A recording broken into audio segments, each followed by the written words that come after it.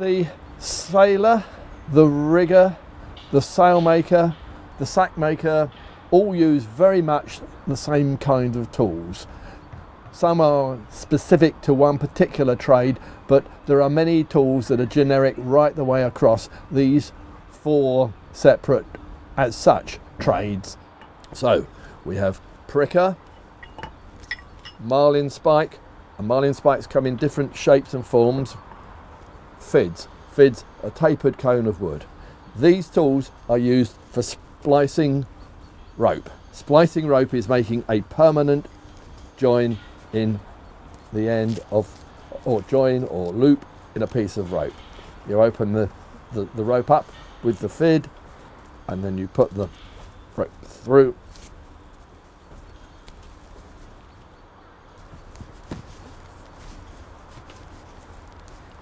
You can see that if you're careful with the tool, it's going to be quite smooth, but if you kind of bash it about at all, and a fid really is a stretching tool. It's not a levering tool.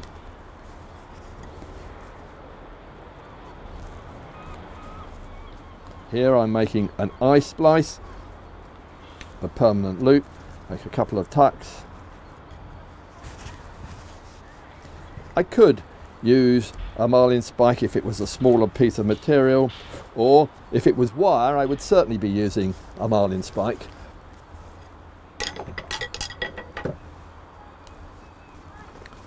That's just completed an eye splice with three full tucks, all that's needed in a bit of natural rope like that. That will hold and that's a permanent fixing using the fid to, to open up the, the layer of the rope. Some rope is a bit tighter than others and that's where the FID gets used. One of the tasks that a FID is used for, but uh, it's a stretching tool rather than a lever. The marlin spike acts more of a lever, that's because it's made of metal, and some people would prefer a pricker because it's got a wooden handle and it's a little more comfortable to hold. So there we have those three tools, the FID, the marlin spike, and the pricker. Now the marlin spikes do come in a whole range of sizes and shapes, but all metal. Always, a marlin spike is always all metal. The fid is always all word, and the pricker, the combination of the two. People sometimes say, why is it a marlin spike? Well, as I say, it's an all metal tool, and it, it's partly named after the material that it works with at certain times of its life, as it were. Marlin, small tarred twine. So I'm going to make a seizing here using marlin or marline and then I'm going to use the marlin spike to just help me work this material. I'll just put it down for a moment while I'm pulling it tight. A flat seizing, joining, making a loop but in a different manner to the manner that, of making it with a, a splice.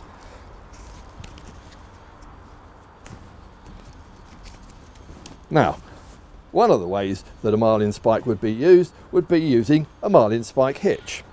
That gives you a good pull tight.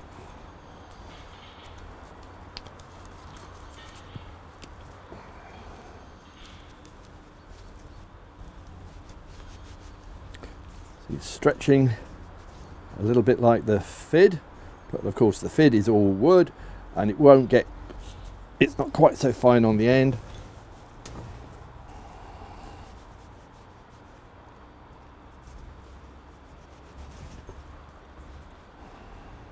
I've just made there a seizing using the marlin spike has helped me in the finer works. There. There's my seizing finished off and I'll just trim the end off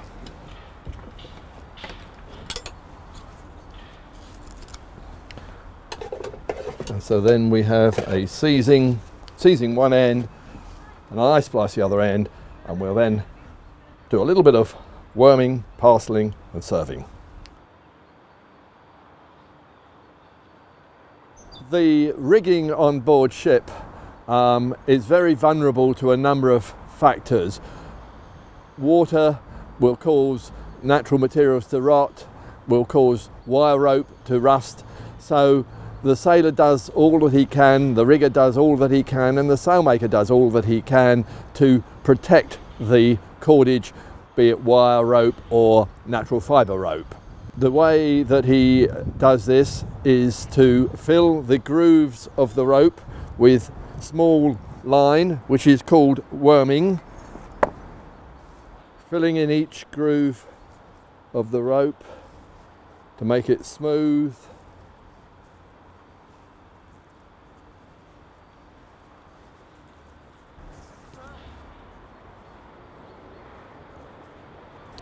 Worming with the lay, the twist of the rope, worm and parcel with the lay, turn and serve the other way.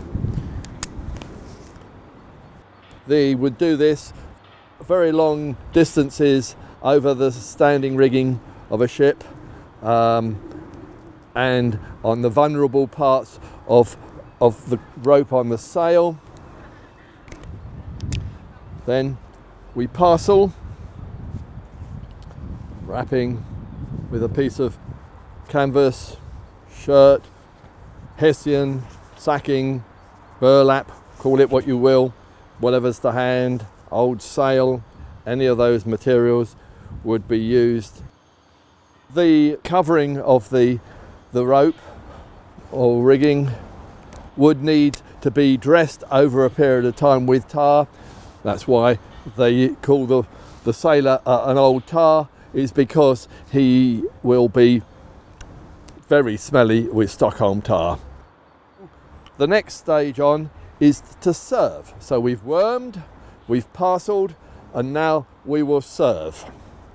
Serving mallet has a groove in it which fits on the rope in that way. Serving board, again the same kind of thing. There are very many combinations. There's another serving board, a little hand carved one, fits round the rope. They come in all sorts of different sizes. This is a bigger one for a much larger piece of rope, has a piece of metal to reinforce it. Sometimes you find them all metal, sometimes you can even go to a great big beasts like this for very large cables. The mallet is a tool for friction.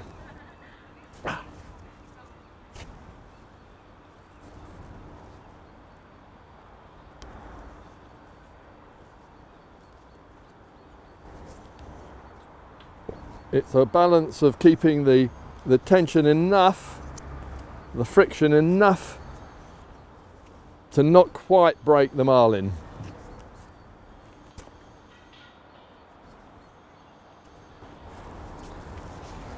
The serving mallet here, shaped with its groove to go over the rope in exactly the same, to fit the rope.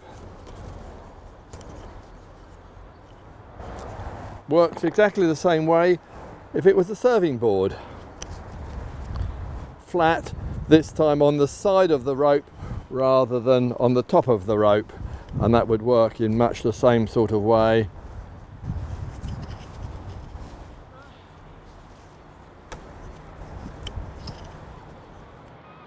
Who uses a serving board, who uses a serving mallet is an interesting uh, discussion. It very much as to where you start your life. If you learn with a serving mallet, then you're comfortable with a serving mallet all through your life. If you start with a serving board, that is what you prefer.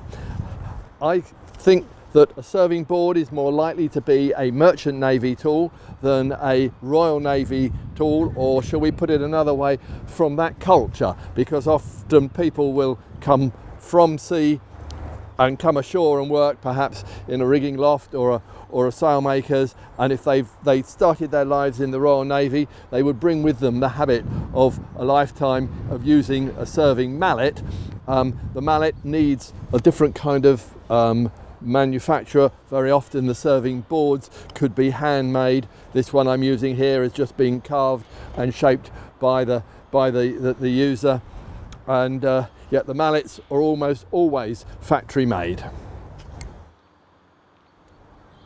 Rather than carrying the ball round every time, some sailors and riggers modify their serving mallets by putting some kind of reel or holder on them. That way they can get a lot of line and they can work it. These tools are not so frequently found with the modification, but they do occur and it is done so you don't need a boy to pass the line and you don't have to worry about your your skein of, of, of marlin coming undone or anything like that. You can work with it much quicker than having to worry about the little bundle of yarn being passed over.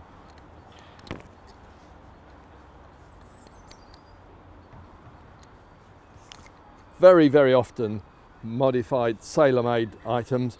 There were over the years a number of uh, patent mallets made, um, but they sometimes all metal, sometimes wood and metal, um, but never made in very large productions.